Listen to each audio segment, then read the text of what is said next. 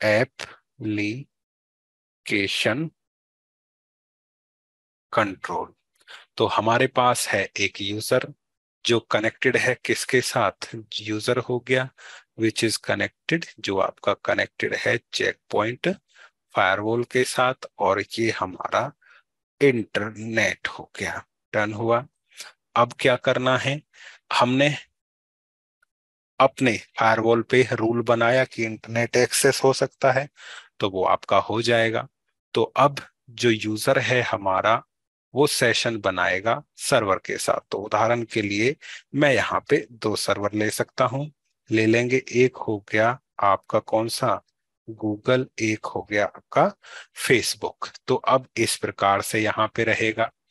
तो पहले एक काम करते हैं। डिवाइड कर देते हैं इसको इक्वल पोर्शन में तो ये हमारा हो गया डन तो जो क्लाइंट है वो सर्वर के साथ डिफरेंट डिफरेंट क्या बनाएगा? सेशंस बनाएगा. तो जैसे कि एक सेशन बनेगा आपका, उस सेशन के अंदर आपका यहाँ पे दूसरा सेशन बनेगा, ठीक है? तो ये हमारा दूसरा सेशन हो गया. फिर उसके अंदर हमारा क्या बनेगा? तीसरा सेशन बनेगा। तो इस प्रकार से जब एक क्लाइंट एक सर्वर के साथ कम्युनिकेट करता है तो हमारे डिफरेंट डिफरेंट क्या बनते हैं? सेशंस बनते हैं। तो इस प्रकार समझने के लिए हम कुछ कलर्स की क्या ले लेते हैं? मदद ले लेते हैं। थोड़ा सा धीरज रखना है, क्योंकि अब समझाने के लिए थोड़ा सा तो फ़ोटो अच्छा बनाना ही पड़ेगा। तो ये हमारा हो गया।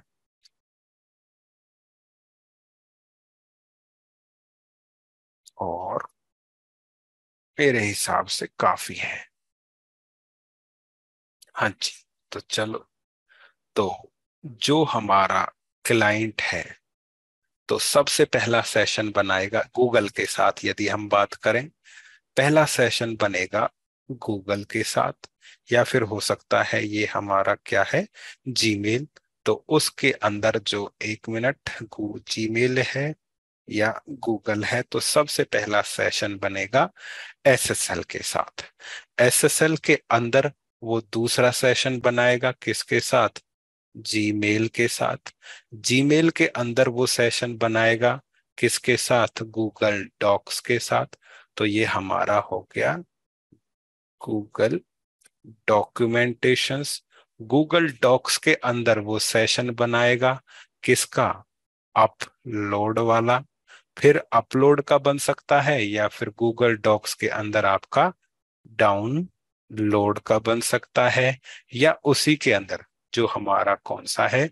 गूगल डॉक्स है, उसके अंदर तीसरा सेशन आपका बनेगा एडिटिंग का या फिर शेयरिंग का बनेगा, ठीक है?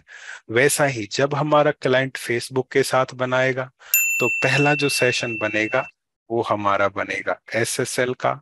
एसएसएल के अंदर वो बनाएगा किसके साथ? फेसबुक के साथ।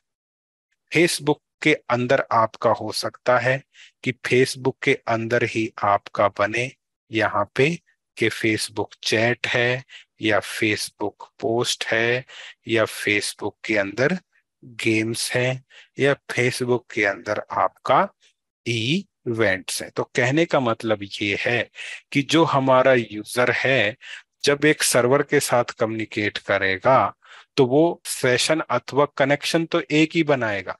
तो सर्वर के साथ हमारा जो है कनेक्शन बना, लेकिन उसके अंदर डिफरेंट डिफरेंट सेशंस हो सकते हैं। एसएसएल का जीमेल का, उसके अंदर आपका जो है जीमेल के अंदर क्या हो सकता है? यहाँ पे गूगल डॉक्स हो सकता है। उसके अंदर अपलोड डाउनलोड एडिटिंग मैंने कुछ ही नाम लिखे हैं। वैसा ही यहाँ पे आपका डिफरेंट डिफरेंट क्या बनेंगे? हमारे सेशंस बनेंगे। तो चेक पॉइंट के पास क्षमता है कि वो ये जो सेशंस बन रहे हैं यही हमारे क्या हो गए? एप्लीकेशंस हो गए। तो एप्लीकेशन कंट्रोल की मदद से, किसकी मदद से?